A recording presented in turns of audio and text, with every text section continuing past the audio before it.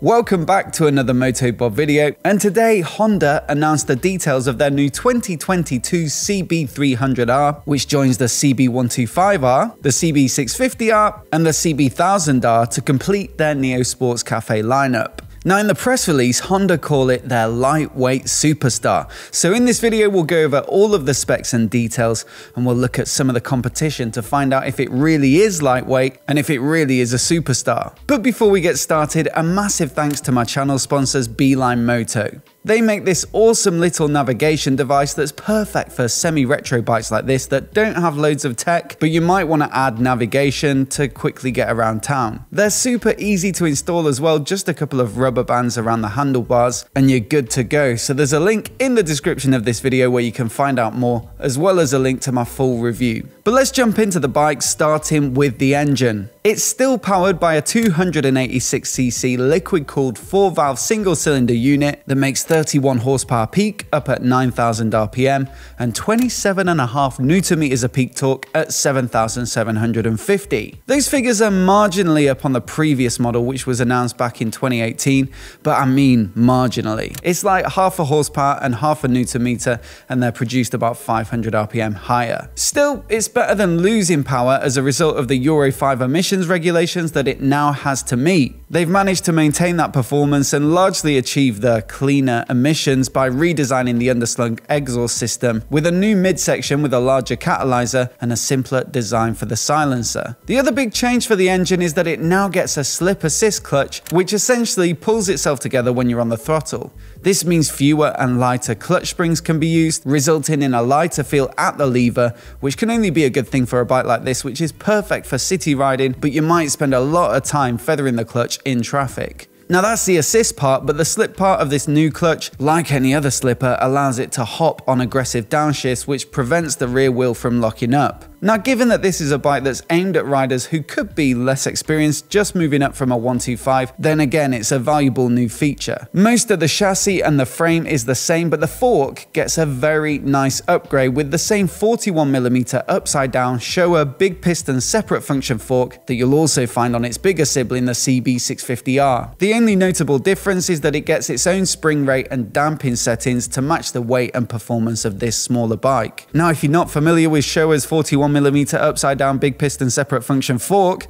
let me explain. 41mm be the girth, upside down means the fatter part of the fork is above the thinner part as opposed to regular right way up forks. Generally this means less unsprung weight which gives you better response and performance from the fork. The previous gen CB300R already had an upside down fork but this one's big piston so the whole fork is used as the cartridge, there's no internal cartridge, and that means that more fork oil can flow through at lower pressures, which again leads to better response, especially at low speeds. And then the separate function part means that instead of springs and damping in each fork leg, one has the damping and one has the spring, and this leads to less weight and again, better response and performance. Basically, in short, you're getting much better CB650R forks on a smaller, more affordable bike, and that's a good thing. Brakes are the same and still look looking good, so a radially mounted 4-pot Nissin caliper on a 310mm disc at the front, which ought to be more than enough stopping power for a fairly slender bike like this.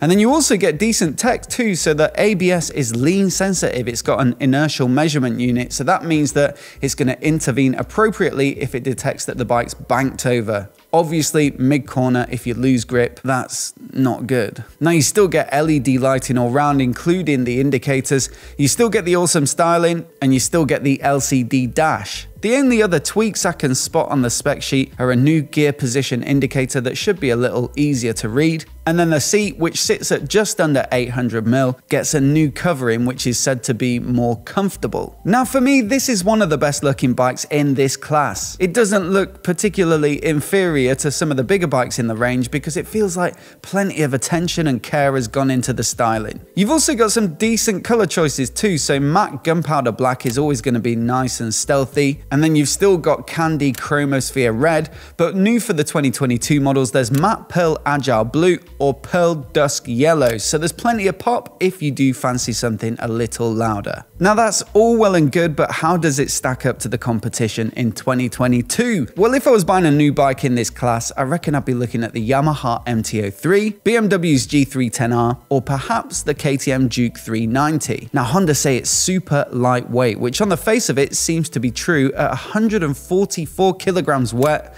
so fully loaded up with oil and coolant and fuel. And when you set it against the competition, it is indeed pretty damn light. It looks to be a good 20 kilograms less than the bikes that I mentioned, and you'll definitely feel that, especially at lower speeds. On the flip side, it is down on power versus those bikes, and quite a lot down on power. And that weight saving isn't enough to compensate in terms of power to weight ratio, so it certainly won't be the quickest of the bunch. So where does that leave it? Well, if you want the fastest naked bike that you can buy once you move up to an A2 license, then this ain't the one. There are obviously some better options out there, but if out and out performance isn't that big of a deal to you and you want something super stylish, or if you're small or short and you want something very light and agile and easy to manage, then this one should still be on the shortlist of bikes to check out. As always, I'd love to know what you think of it down in the comments below and which of the four bikes you'd choose if it was your cash. And if you're new here and you want to see more videos like this, hit subscribe and I'll catch you next time.